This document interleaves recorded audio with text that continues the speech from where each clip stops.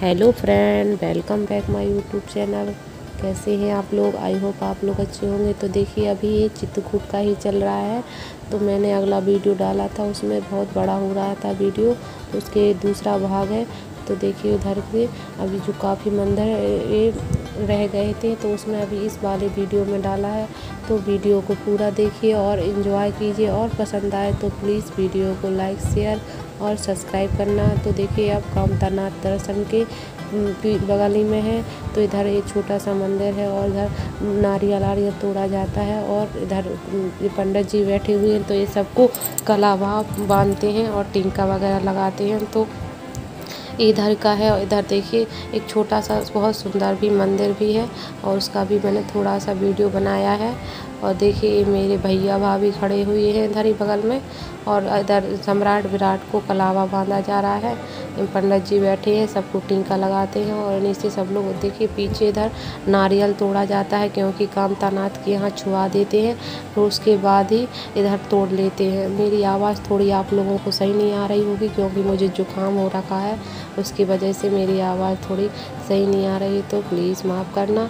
और देखिए, अब इधर मुझे, मैंने भी कलावा बनवाया है। सभी लोग इधर ही पंडित जी से कलावा बनवाते हैं। रहते वो मंत्र उच्चारण करके बांधते हैं तो ज़्यादा अच्छा रहता है। और देखिए, सामने मंदिर भी है इधर ही। तो इधर ही पंडित जी बैठे हुए हैं, सबको कलावा बाँध के टीका लगा देते हैं। और देखिए, अभी आगे कथा भी होना है। देखिए, माता कौशल्या जी का मंदिर है इधर। और देखिए, इधर कामतानाथ है, उधर छुआ के। कामतानाथ के देखिए, इधर ये चुनरी बंधी हुई तो जिसको अपनी मन्नत रहती है तो उधर चुनरी बाँध देते हैं। जब मन्नत पूरी हो जाती है तो चुनरी छोड़ने के लिए आना पड़ता है इधर। तो देखिए, अब हम लोग इधर मंदिर से निकल कर अभी जाएँगे। देखिए, व्हील चेयर रखी है। इस, जो लोग चल नहीं पाते हैं, उनको, उनके लिए है, जो बैठ कर के परिक्रमा करवा देते हैं, क्योंकि बहुत बड़ा परिक्रमा रहता है छः किलोमीटर का। तो कोई जैसे वृद्ध है, ज़्यादा बूढ़े हैं तो वो नहीं चल पाते हैं। तो इसी पर एक घंटे में ही लोग करवा देते हैं परिक्रमा। अब देखिए सामने का व्यू भी कितना सुंदर लग रहा है और इधर मेरी भाभी लोग सब लोग ये दर्शन करके पहले आ गई थी और ये बुआ है भाभी। और देखिए अब इधर हम लोग पंडित जी बैठे हुए हैं तो कथा होनी है तो यही पूजा का सामान लगा लिया है इन्होंने और सब लोग इधर बैठ गए हैं और पूजन होगा सबसे पहले। भतीजा है, इसी का मुंडन हुआ है दोनों का तो इन्हीं के नाम से कथा भी होगी। तो इन्हीं को बिठाया है जिसकी इनकी मन्नत थी कुछ। तो इन्होंने मांगा था, इसलिए इसी से कथा करवाएँगे। इन्हीं को बैठाया गया है और इधर भाभी लोग सब लोग बैठी हुई हैं और पंडित जी भी अपना पूजा का जो कुछ सामान रहता है तो वो सब मंगा रहे हैं और उनको लगा दिया है। पूजन होने की तैयारी है, उसके बाद फिर कथा सुनाएँगे। तो आप लोग वीडियो को पूरा ज़रूर देखिएगा प्लीज़ और वीडियो को लाइक करना बिल्कुल मत भूलना। वीडियो प्लीज़ लाइक कर देना और देखिए अब इधर पूजन होने लगा है। तो सब लोग बैठ गए हैं, भाभी लोग सब लोग इधर पीछे, हम लोग भी बैठे हुए थे तो सबने इधर कथा सुनी है फिर, और इधर पूजन होगा, पूजन होने के बाद कन्या भी खिलाई थी, लेकिन मैंने कन्या का वीडियो बना ही नहीं पाई हूँ क्योंकि सम्राट विराट इतना परेशान करने लगे थे कि मैं फिर परे बना ही नहीं पाया है वीडियो, और काफ़ी लोग रहते गर्मी का टाइम है तो बच्चे ज़्यादा परेशान करते हैं तो फिर वीडियो का ही भूल ही गई हूँ मैं तो बस इतना ही कथा का बनाया है और अभी आगे भी अभी वीडियो बनाया है। इसमें थोड़ा लंबा हो रहा था तो इसमें पूरा वीडियो नहीं आ पाया है। इसमें अभी आधा ही है। आगे का भी आप लोगों के साथ शेयर करेंगे तो प्लीज़ वीडियो को शेयर आप लोग भी करिएगा और सबको कामतानाथ के दर्शन भी हो जाएँगे। और देखिए इधर पट्टन जी ने पूजन करवा रहे हैं तो फूल वूल सब पहले चढ़वा दिया है। इसका पूजन होगा, उसके बाद फिर कथा होगी। तो देखिए पंडित जी, यहाँ तो बहुत जल्दी से कथा टाइम भी नहीं लगा था, दस पंद्रह मिनट में उन्होंने पूरी कथा सुना दी थी। क्योंकि जल्दी जल्दी इनका तो काम ही रहता है। एक एक मतलब बहुत ही कथा लोग लाइन लगाए खड़े रहते हैं कथा सुनने के लिए।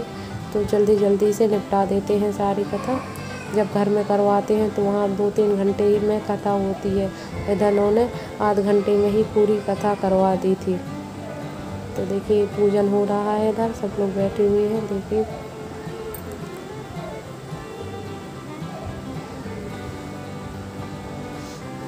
ये देखिए, पैसे चढ़वा रहे हैं और फूल वूल सब चढ़वा दिया है, टीका भी लगा दिया है।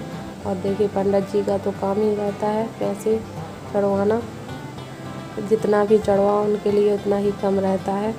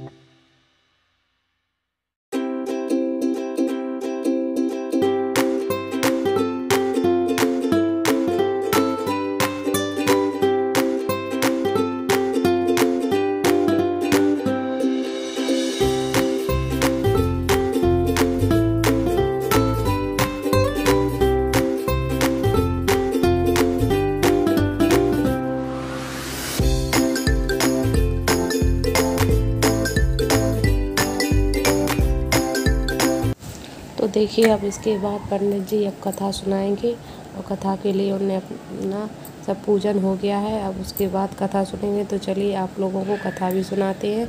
तो सत्यनारायण भगवान की घर बैठे कथा सुनिए आप लोग।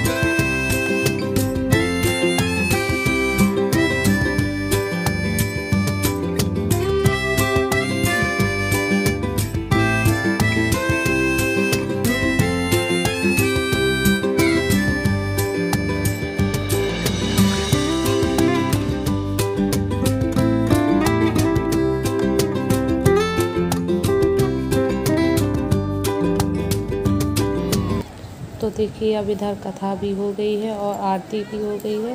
इसमें परिक्रमा करके या फिर सबको कलावा बांधा जाएगा, टीका लगाया जाएगा। तो सब लोग अभी आरती के लिए इधर खड़े हुए हैं। तो देखिएगा, और इधर मेरे पापा भी बगल में हैं और भैया लोग, भाभी लोग और ये बुआ है, भतीजी है, दीदी हैं, सब लोग इधर ही है। ये मम्मी लोग, भाभी लोग बैठे हुए हैं। तो इन लोगों को कलावा बांधा जा रहा है पंडित जी और देखिए सब लोग इधर ही बैठे हुए हैं और सब लोग बच्चे में सम्राट विराट तो चले गए थे क्योंकि वो बहुत गर्मी लग रही थी परेशान हो रहे थे। इसकी वजह से वो पहले ही बाहर तो देखिए अब सबको कलावा भी बन गया है और ये वीडियो पसंद आए तो प्लीज़ लाइक शेयर करना और ये लक्ष्मण पहाड़ी का है। हम लोग लक्ष्मण पहाड़ी जा रहे हैं तो अभी वीडियो में नहीं डाला है अगले वीडियो में अपलोड करेंगे तो वीडियो पूरा देखने के लिए आप लोगों का बहुत बहुत धन्यवाद और वीडियो लाइक करना बिल्कुल मत भूलना और आगे शेयर